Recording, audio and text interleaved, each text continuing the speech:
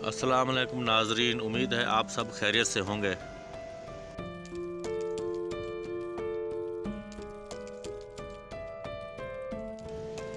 Depression की अलामत।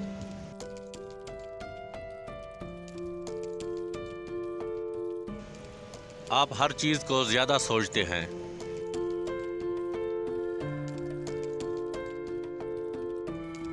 जब आप सुबह उठते हैं तो खुद में एक खालीपन सा महसूस करते हैं। आपको समझ नहीं आ रहा होता कि आखिर आपको क्या चाहिए। आप किसी से भी मिलना और बात करना नहीं चाहते। आप तन्हा रहने को तरजीह देते हैं। आप हमेशा सोचते हैं कि आप कमतर हैं और दूसरे आपसे बेहतर हैं। आप अपने जज्बात पर काबू नहीं रख पाते।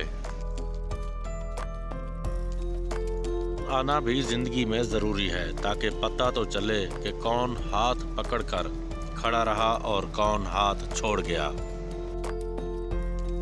बाहिम्मत लोग हारा नहीं करते, या वो जीत जाते हैं, या कुछ सीख जाते हैं। नमक हराम और बदनसर इंसान का पहला शिकार उसका मौसन होता है।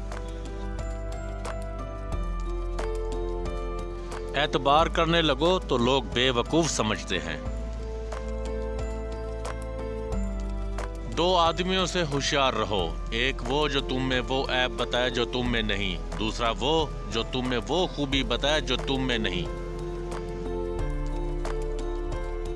नाजरीन, अगर आपको वीडियो पसंद आई है तो हमारे चैनल को सब्सक्राइब करें और अपनी पसंद का इजहार कमेंट बॉक्स में ज़रूर करें। शुक्रिया।